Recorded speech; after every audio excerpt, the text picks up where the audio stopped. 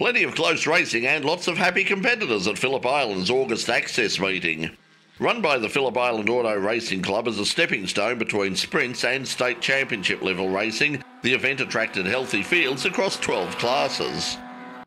The largest turnout came from superkarts and it was Anton Stevens and Gary Pegararo who shared race wins, with Stevens taking two wins over Pegararo's one. Sadly, the final race for the weekend was red flagged after only one lap when the 125 kart of Nathan Pryor left the track at high speed and made heavy contact with the wall at the back of the circuit. Pryor was taken by ambulance to a nearby hospital for observation. Large fields in the 125 non gearbox classes as well, with Jonathan French taking a clean sweep of all four races over Russ Occhipinti. The rapid rise of the Victorian Excel Series continued with more new cars and more great racing.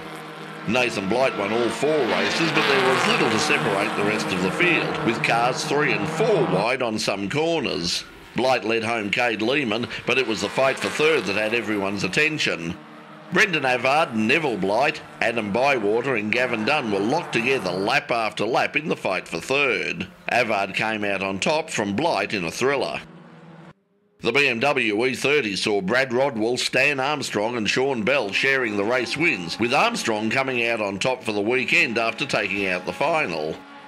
Bell made several challenges on the leader, especially under brakes into MG, but Armstrong held firm to take the points. The local Victorian V8 series provided plenty of power, noise, and some close racing, with Mark Kakuri winning all four races, but he had to work hard to hold off fellow Commodore driver Graham Meir in the final. Meir led early before Kakuri fought his way through to take the win. Cam Chivers was third to take second overall for the weekend, with Gary Shipton's beautiful Mustang, the first of the Fords, in fifth place. More power, better fuel economy, a cleaner, more efficient engine. They're just a few of the advantages of having your car tuned on a Dynotech dyno. To find your nearest Dynotech workshop, go to dyno.com.au. Dynotech by Dyno Dynamics.